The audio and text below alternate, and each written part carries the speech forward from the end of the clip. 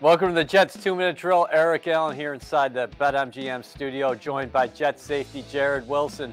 Jarrod, 80th career game, first sack against the Buffalo Bills. How did that one feel? Felt good. Uh, surprised me, honestly. Kind of came scot free and made a play. So, definitely my first career sack, but definitely excited. So, what were you thinking when you came around the corner? Did you think that Allen was going to pick you up out of the corner of his eye? I thought somebody was. Uh, it's rare you come scot free like that. So, one thing I coach myself about is get that ball out though instead of the sack. The fumble could have been right there for me. As you look ahead to the Miami Dolphins, what are you seeing from them on tape? Good ball club. Right now, down this stretch in November, December, everyone's bringing their best out. Um, they're a physical ball club. Um, a lot of weapons on offense, speed. Uh, definitely should be a, a, challenging match on Sunday that we're just looking forward to get the uh, win out of.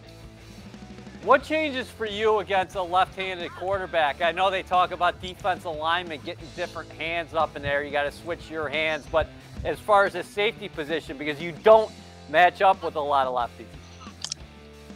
I wouldn't put too much thought into it. It's more so just the delivery of the ball. You know, the spin is opposite, so you get an opportunity to catch the football. It's definitely got that uh, different direction of spin. Um, and then obviously his his boot his boot mechanics would probably be to the other side of the field. So just a couple small things, but nothing nothing too major. What's been the message this week amongst the players and from the coaching staff as you guys look to rebound as a unit? At the end of the day, it's really about us. It doesn't really matter the, the, the opponent at this point. It's really honing in on our technique, our fundamentals, and going out there and letting it rip on Sunday. Uh, long as we're on the right page and everything and doing what we have to do, the, everything else will take care of itself. What about the takeaways? Do you think they're going to continue to come for you guys? Uh, we mentioned Sharrod before. He came up with his first career interception. And I'll tell you what, Ashtyn continues to knock the ball out as well. Shouts out to both of them guys. Shouts out to Sharrod for getting his first career pick. And then Ashtyn has definitely been ball aware, getting that ball off people. Um, one thing that I say is they come in bunches. So I would expect definitely – um, more to come. You know, that, that's a saying. They come in bunches. So just being around the football, good things happen.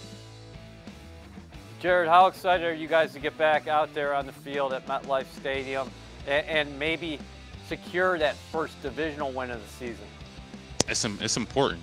Every Sunday is an opportunity to just get better, um, showcase your talent on film, and execute and try to win not more importantly for yourself, but for the team and the organization and the fan base. So it's another home game.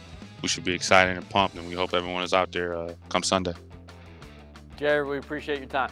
No, but no, thank, no problem. Thank you.